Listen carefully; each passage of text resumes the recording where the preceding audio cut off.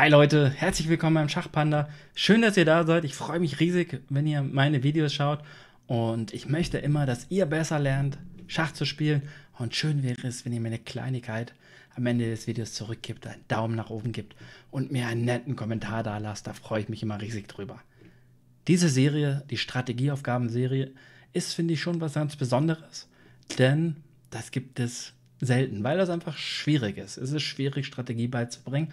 Und ich mache das hier immer live. Ich habe diese Stellung noch nie gesehen vorher. Ich habe sie gerade erst aufgebaut und bin auch mal bereit, richtig daneben zu greifen. Letzte Woche, letzte Aufgabe, wenn ihr es gesehen habt, lag ich ziemlich falsch mit meiner Lösung. Und heute sollt ihr natürlich wieder mitmachen. Also, die Aufgabe an euch lautet, baut euch diese Stellung auf. Am besten auf einem echten Brett. Macht euch Gedanken und ich sage euch die Aufgabenstellung, weiß am Zug, die nächsten drei bis vier Züge. Also einen kleinen Plan für Weiß entwickeln. Und macht euch, ich sage euch vorher nichts, ihr haltet jetzt das Video an, baut jetzt die Stellung auf und macht euch Gedanken und dann vergleicht ihr das mit meinen Gedanken und dem der Lösung und dann werden wir zusammen hoffentlich alle etwas lernen. Ich werde euch jetzt etwas zu meinen Gedanken erzählen und wie gesagt, das ist ganz objektiv, ich habe die Stellung noch nie gesehen. Ich kann komplett daneben liegen, ein paar richtige Sachen sagen. Wir werden sehen. Also als erstes zähle ich wie immer das Material. 1, 2, 3, 4, 5, 6, 1, 2, 3, 4, 5, 6, gleiche Bauern, zwei Läufer, zwei Läufer, Springer, Springer, Türme, Türme, Dame, Dame. Material ist gleich. Was fällt mir auf? Mir fällt auf, dass, naja, tendenziell die weißen Figuren hier natürlich so am Königsflügel rumstehen. Das ist das Erste, was mir sofort aufgefallen ist, als ich diese Stellung gesehen habe. Und das heißt, ähm, hier gibt es Angriffschancen. Ne? Klar, gegen den G7 zum Beispiel. Ist dieser Springer weg, ist G7 schon matt. Und was fällt mir noch auf? Weiß hat hier so einen isolierten Bauern. Dieser Springer steht sehr gut. Der steht halt vor diesem isolierten Bauern, das perfekte Feld, Blockadefeld, den kriegt man nicht so einfach weg. Und er deckt natürlich auch diese Diagonale ab und er deckt, verhindert auch, dass dieser Bauer vorgeht und damit dieser Läufer aktiv wird. Das heißt, dieser Springer ist auf jeden Fall eine sehr gute Figur. Schwarz hat hier auch so einen isolierten Bauern, aber das ist nicht so wild. Seine Figuren stehen so nicht ganz so ähm, klar positioniert. Die Dame, ja, so am Darmflügel ist eigentlich nicht so viel los. Er wird sicherlich seine Türme mal in die C- und D-Linie stellen. Vielleicht will er mal irgendwann D5 spielen, aber dann geht halt diese Diagonale auf. Ähm, aber er steht ja auch noch sicher, wie gesagt. Also es ist äh, auf den ersten Blick, sage ich jetzt, sehe ich jetzt keine Problemfigur auf irgendeiner Seite oder ein Problemfeld oder irgendwas. Diese isolierten Bauern spielen hier erstmal keine große Rolle, weil man die nicht, also den, wie will man die, diesen Bauern eingreifen? Da müsste man da und alle Figuren räumen und würde komplett von seiner aktiven Stellung ähm, abgehen. Und deswegen ist in so einer Stellung würden mir jetzt diese Bauern nicht als große Schwäche auffallen. Die sind da und sie sind nicht gut, aber ähm, die spielen keine große Rolle. Was würde mir in dieser Stellung auffallen als Zug? Also ein ganz logischer Zug, Turm F1. Verdoppeln in der ha äh, halboffenen Linie, das kann selten verkehrt sein.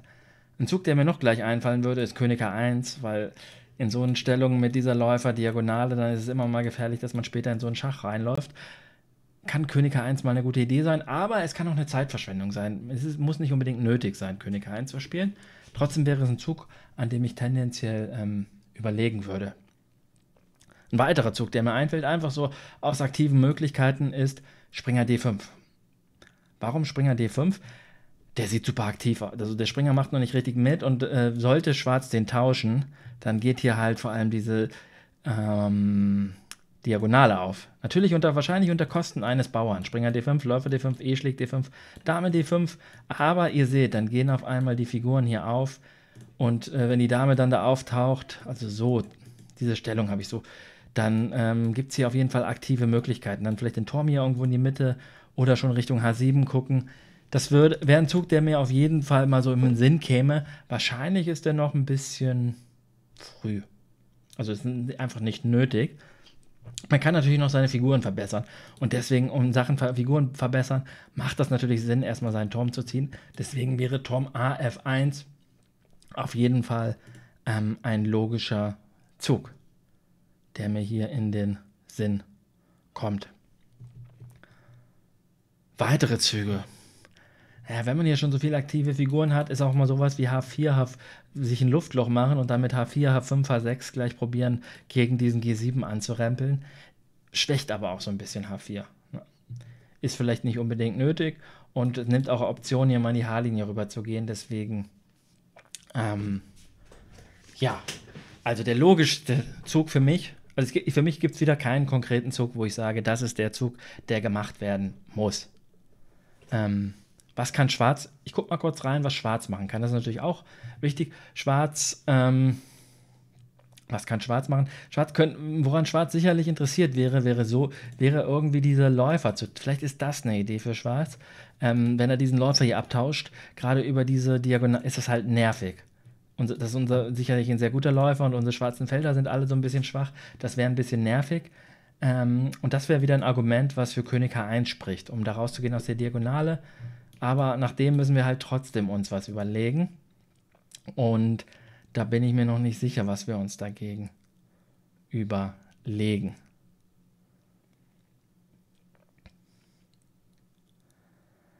Ja, also, ähm, Tom F1 ist wie gesagt auch ein logischer Zug, aber man könnte vielleicht trotzdem der kommen. Und Tom F1 äh, ist halt noch nicht ganz klar, wie es weitergeht, weil F7 ist auch eine Million Mal gedeckt. Also gegen F7 spielt man halt auch nicht so einfach mit.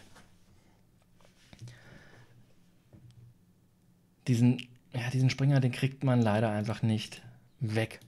Das ist ein großes Problem, diesen Springer hier wegzubekommen. Also, Kandidatenzüge. Ich, ich würde jetzt ein bisschen nach Kandidatenzüge gehen.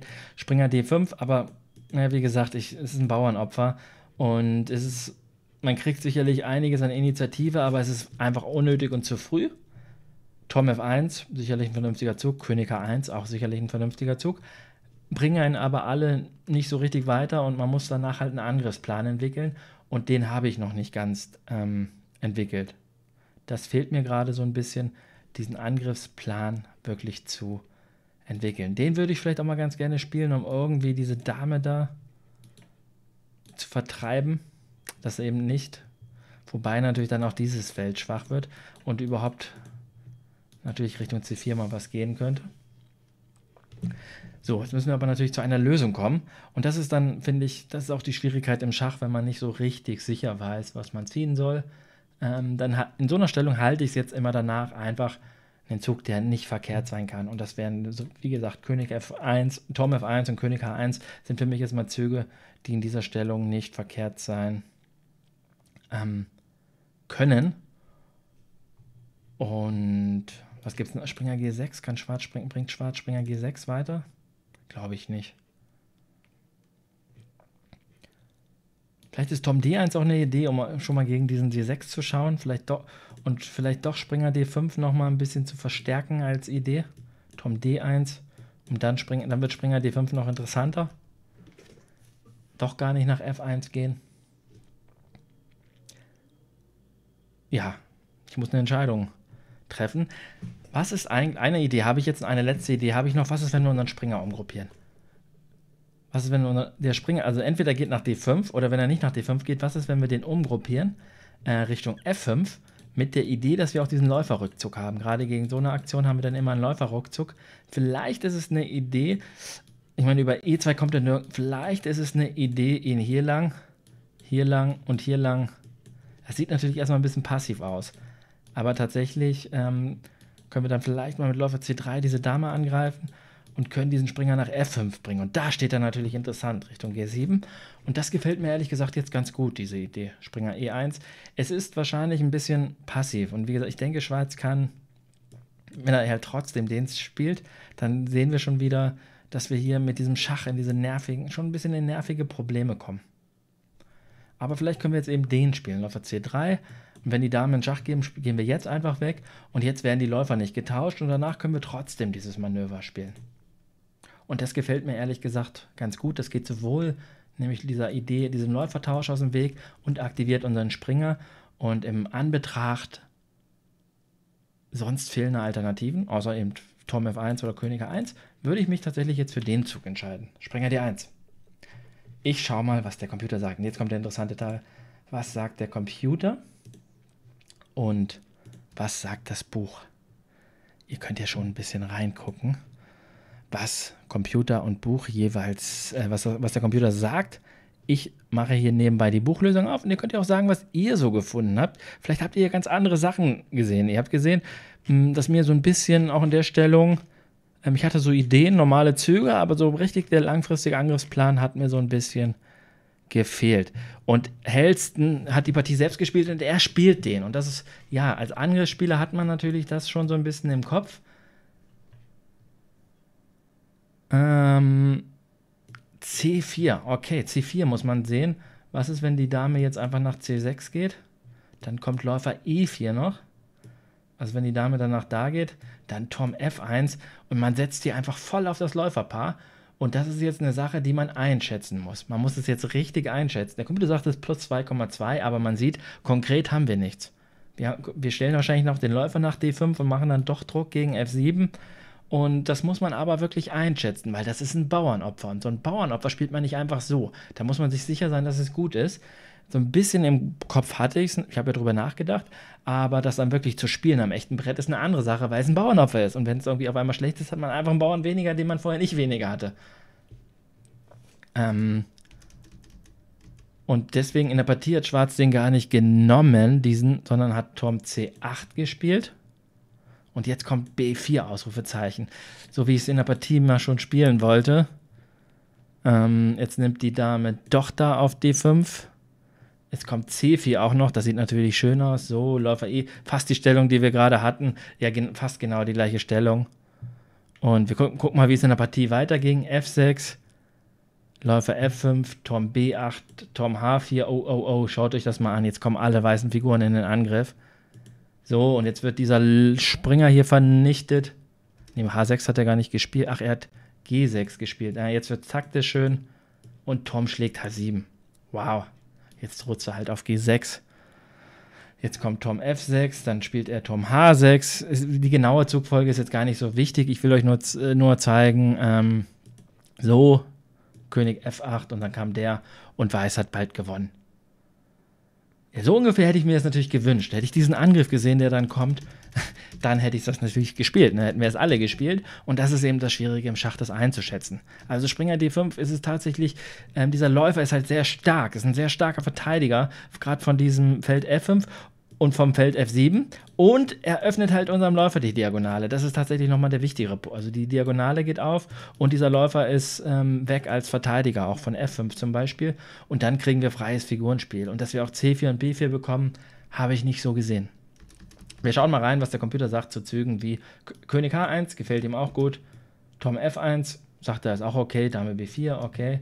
Was sagt der Computer zu einem Zug wie, was hatte ich gesagt, H4? Kann man auch machen, aber er spielt tatsächlich Läufer D8. Ja, das ist schon mal äh, interessant, dass er auch diese Idee findet. Und was sagt der Computer zu Springer? Sagt der Computer ist auch okay, kann man machen. Läufer G. Was ist, wenn jetzt Läufer D8 kommt? Dann wollte ich ja den spielen. Dann dachte ich hier, dieses Schach, König geht weg. Und die Stellung ist aber durchaus okay. Ja, man kann die durchaus weiterspielen. Ähm, sagen wir, Schwarz spielt jetzt Turm C8 oder so und wir spielen Springer E3 und der Computer sagt, die Stellung ist ausgeglichen, jetzt muss man halt spielen. Er findet die schöne Idee Läufer A5, was dann doch die Läufer tauscht. Das wollte ich ja natürlich verhindern. Ne, das war ja eine Idee meines ganzen Manövers, diesen Läufertausch zu verhindern. Und wenn der jetzt doch klappt, ist das natürlich ärgerlich. Aber wenn er zum Beispiel H6 spielt und ich Springer F5, das ist eine Stellung, die ich auch genommen hätte. Die sieht natürlich auch sehr aktiv aus. Und dementsprechend muss ich sagen, ich bin jetzt mit meiner Lösung nicht unzufrieden, ähm, weil das durchaus vernünftig ist. Es ist planvoll, es ist logisch. Springer D5, okay, ist eine Einschätzung. Auch hier sagt der Computer ja, ähm, bei bestem schwarzen Spiel, jetzt G6, ist es auch nur ausgeglichen, praktisch wahrscheinlich deutlich besser für Weiß. Aber wenn Schwarz sich perfekt verteidigt und es ist jetzt keine Lösung der Art, den muss man machen. Das ist der einzig gute Zug und so ist es immer im Schach oder ganz oft im Schach, ist auch hier in diesem Buch. Man muss nicht immer sagen, die Buchlösung ist die Lösung, die man unbedingt spielen muss. Es ist einfach, es gibt hier nochmal einen Impuls, auch für euch, dass man durchaus so einen Bauern mal opfern kann für Initiative, aber man muss es nicht. Es ist eine Entscheidung. Und wenn man sagt, ich möchte das lieber nicht, weil ich das nicht richtig einschätzen kann, ich spiele lieber was Solideres, dann ähm, ist das natürlich auch okay. Aber was zum Beispiel, was ich gut finde, dass ich diese Idee erkannt habe mit diesem Läufertausch, dass das ein guter Plan für Schwarz ist auf den ich jetzt so ein bisschen geachtet habe. Und das finde ich schon mal sehr, ähm, ja, das sagt mir schon mal, okay, hier habe ich schon ein bisschen was richtig beachtet und dass am Ende hier so ein Königsangriff entstanden ist. Das war ja das, was ich als erstes gesehen habe. Und dementsprechend ist das, äh, bin ich hier zufrieden mit meiner Lösung und sage, kann ich mitarbeiten. Diesen, äh, dieses Bauernopfer verstehe ich total, dass es gut ist. Habe ich auch schon so ein bisschen geahnt, aber ich habe halt nicht gesehen, dass man die Dame so gut vertreiben kann, weil wenn die Dame auf D5 stehen bleibt, da steht die halt auch sehr nervig. Die Dame, ne, wenn man die jetzt nicht vertreibt, die steht da sehr nervig, weil die immer so geht zwar den D4 im Blick hat und so, aber ähm, ja, die muss dann halt auch richtig schlechte Felder. Und gerade C4 und ist nochmal wichtig, dass man die Dame jetzt vertreibt nochmal und dann seinen Läufer so gut aktivieren kann. Okay, ich hoffe, ihr habt auch ein bisschen was gelernt. Ich hoffe, ihr kommt. Eure Lösung könnt ihr euch ja hinterfragen, warum habt ihr eure Lösung gewählt und ähm, ist sie sehr viel schlechter? Überprüft das bitte mit der Engine. Was ist das Problem vielleicht an eurer Engine Lösung oder ist die auch gut? Und ähm, nehmt ihr vielleicht was mit aus den Plänen. Das ist wichtig, dass man am Ende was mitnimmt aus diesen Stellungen. Ne, dass man auch mal bereit sein muss, einen Bauer, nicht muss, aber kann, einen Bauern zu opfern. Ich hoffe, ihr habt ein bisschen was gelernt. Ich auf jeden Fall. Hat mir Spaß gemacht. Lasst gerne einen Daumen und einen Kommentar da. Würde ich mich riesig freuen. Bis zum nächsten Mal. Macht's gut, euer Schachpanda. Ciao.